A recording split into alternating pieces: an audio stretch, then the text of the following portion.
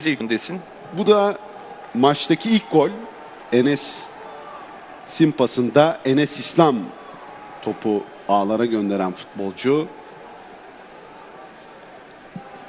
Çok etkiliydi bugün Enes İslam.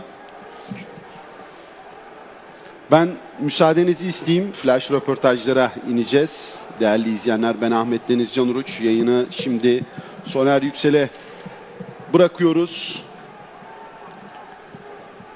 Evet farklı açılardan Eskişehir Spor Kırklareli mücadelesinin golleri ekranlara geliyor.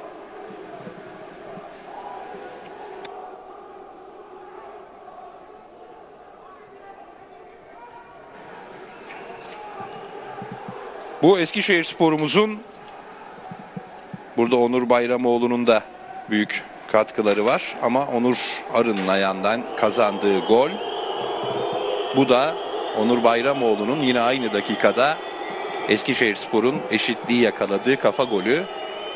İşte bu golle birlikte umutlarımız epey yükseldi.